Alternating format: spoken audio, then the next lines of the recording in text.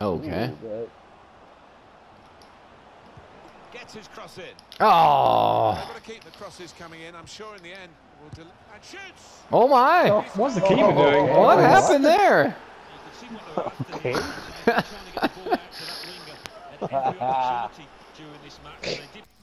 Oh.